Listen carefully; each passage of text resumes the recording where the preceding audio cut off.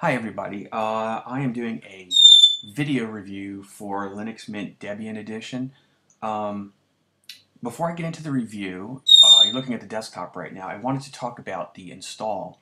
Um, I, I'm not going to do the install because it's boring and I don't want to make you sit through it. If you're looking at this video on the desktop Linux review site, then that means you can just pull up, uh, you can click the drop down menu and look at the install screenshots and it will walk you through uh, the install from beginning to end. The install is actually pretty easy, but at one point you have to do a little bit of partitioning, and that might throw off some new users. Um, thankfully, uh, the Debian edition of Linux Mint is also um, a live DVD, so you can just burn it to, to a DVD and then uh, boot up in your computer and actually use it without installing it. So, you know, bear that in mind. Um, the file I downloaded was about 917 megs, so it's too big for a CD, so you have to use a DVD. Um, but the install isn't isn't that bad and uh, is certainly doable, especially if you've already installed uh, the Ubuntu version. Let me talk very briefly before I get into the uh, looking at the desktop. Um, what are the differences between the Debian edition and the, the Ubuntu edition? Um, well, the Debian edition is a rolling release. You don't need to keep installing upgrades. You can just upgrade it easily from the upgrade manager. With Ubuntu, you've got to download another version and install it usually. Uh, so it, it's less of a headache. Um, the other thing is some people simply don't like Ubuntu. They don't like what Canonical is doing and they don't want to use Ubuntu. I personally don't have a problem with Ubuntu or Canonical, the company that makes it. I think that they've done a good job. Um, and you know, if you don't like it, that's cool. Now you've got the Debian edition. You can just run that instead of uh, the Ubuntu version. But I, you know, I actually like the Ubuntu version. So anyway, let me, let's begin the review. Um, if you look, the first thing you see here is the Welcome to Linux Mint menu. Now, if you've used it before, you're, you're not going to really care about this. But if you're new to Linux Mint, I highly recommend looking at some of the documentation, the forums, the tutorials. Just it will help help you familiarize yourself with Linux Mint so that you're not kind of uh, having to sort of blunder around and you know wonder what's going on if, if you haven't used it before. Um, let me start by talking about some of the new features here. We've got a um, one of the new things is the uh, backup manager, which is where is it now? Got to figure out which menu it is in. Uh, it's very cool, and if you haven't used a, um, oh, there it is, under administration. Uh, if you haven't used a backup tool before, or you're one of the people that thinks your hard drive will never fail, boy, are you in for a rude awakening. Um, I've had it happen. I highly recommend using the backup manager in Linux Mint Debian because sooner or later your hard drive is going to fail and you'll be screwed. By the way, if you hear a bird in the background, that's my parrot Bilbo. I apologize for the noise, but he always does this when I'm talking, so you have to bear bear with it. Um, anyway, so the, the new backup tool is very cool. Um, it tracks the software that you've installed. It makes it very easy uh, to restore your data, and you know it could save you in the event of a disaster. Um, and you can install your you know your software selection on a different computer. Um, you know it'll perform incremental restorations and backups, and you know you can compress and archive on the fly. So it's a very helpful tool. I highly recommend that you uh, spend a little time familiarizing yourself with it if you haven't used it before. Um, there's also a new um, uh, desktop settings tool, and I want to draw this to your attention for one big reason. Um, first of all, it's pretty self-explanatory about you know what you can change. Um, but one of the things that people have complained about with the Ubuntu version of Linux Mint um, has been uh, you know how the buttons have been laid out uh, over to the left, you know the title bar buttons, and um, in Linux Mint it's very nice because you can change it to the right or to the left, whichever you prefer. I don't mind it on the left. It doesn't bother me. I own a couple of Macs, so I'm used to having buttons on the left. But boy, it really pissed off some people who were using the Ubuntu version of Linux Mint. Uh, so anyway, the Linux Mint developers, in their wisdom, have made it very simple and easy to uh, you know, to change that. So bear that in mind when you, uh, uh, you know, you use it. Um, so let me take a look at the software manager. That's one of the next big new features. And um, it's basically been rewritten from the ground up. There are about 30,000 applications available, or packages as they're called in Linux. Um, and obviously everything is broken down into categories, so it's very easy, or you can search if you want. Um, I recommend browsing the featured categories. There's a lot of good applications here. Um, some of the more popular ones are, are all listed here for you. Um, it doesn't take long to find the stuff. Uh, once you find an application that you want, you can, uh, first of all, you can look to see how many reviews, and you can read, read these reviews by other, other users.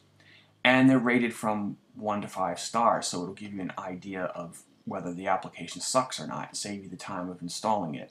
If you want to install it, you simply just click and type in your password and it will start to install it for you. Um, takes two seconds. You can also um, go back while it's installing and look at another application.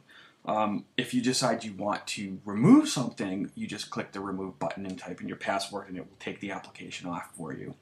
Uh, the, the, the, software manager is, is really, really, really good and highly recommend spending some time uh, poking around in it because, you know, I'm, I don't know about you, but I'm a software junkie, so I love finding different programs, and I always find that for me, you know, more is, is better a lot of the time. Even if I don't use the application, I feel better having it on my system, you know. So there's a lot of stuff there that you can um, uh, look at. Um, one other thing that you might want to do is to go over to the Linux Mint site. Um, let me close this here. I'll show that in a second. Let's go start. Before you watch. Let's go over to the Linux Mint site.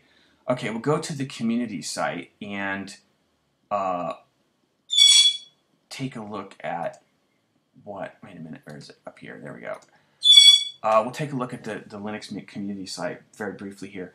Um, if it loads, we'll take a look at it. Um, I recommend looking at the, the Linux Mint community site because um, you can see what other users are saying and you know kind of connect to them and it, it's a good it's a good tool especially if you're new to Linux Mint. Um, one of the other things um, that uh, you might want to be aware of is that Linux Mint ships with uh, multimedia codecs installed so you don't have to install stuff if you want to run DVDs. I'm assuming it's legal where you are. If it's, if it's not legal you shouldn't you know you shouldn't use it or whatever.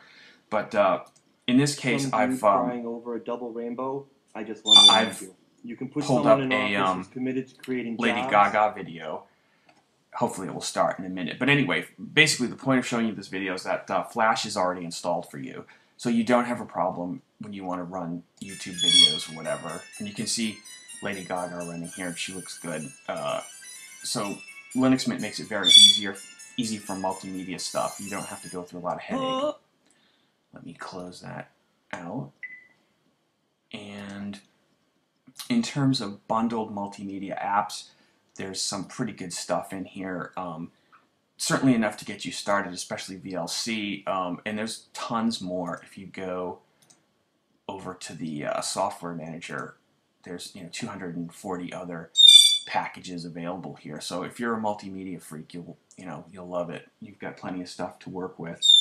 Um, let me see what else we want to show you here. Go back here. And you can see that the, the application that I installed, uh, which was Chromium, um, is now on my system.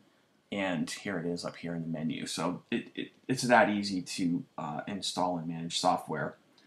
Uh, very simple stuff. Um, so I'm looking at this, and one of the nice things about Linux Mint is the tools that it comes with. And of course, you've got the, the menu here, which some people don't like. I actually like it. I actually prefer it very much to some of the other menuing systems I've seen.